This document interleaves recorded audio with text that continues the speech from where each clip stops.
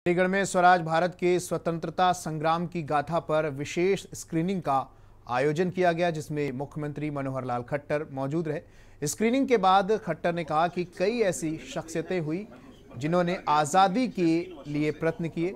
उन्होंने इन्होंने अंग्रेज़ों के खिलाफ आज़ादी की लड़ाई लड़ी और मुगलों के साथ भी लोहा लिया। खट्टर ने कहा कि ऐसी कई विभूतियाँ हैं, जिन्हें कभी याद नहीं किया गया, जिनमें हमारी शहीद रानियों जैसे रानी अक्का रानी औका और रही और इसी को लेकर स्वराज नाम की सीरीज़ शुरू की गई है। अब शिक्षण संस्थानों में यह कहानी दिखाई जाएगी। उन्होंने अपने संबोधन में आगे कहा कि आज़ादी के बाद मैकाले की शिक्षा नीति देश में लागू रही। खट्टर ने चंडीगढ़ का नाम एयरपोर्ट, शहीद भगत सिंह के नाम पर रखने के लिए प्रधानमंत्री नरेंद्र मोदी का धन्यवाद किया। अलग अलग प्रकार से केंद्र सरकार की योजना है, हमारा सूचना प्रसारण विभाग इसको आगे प्रसारित करेगा तो अलग अलग प्लेटफॉर्म जो भी होंगे, उसको प्रत्यक्ष भी दिखाएँगे अपनी संस्थाएँ उनको भी दिखाएँगे। इतिहास की अगर बात करें तो जैसे पुरानी चलो आज़ादी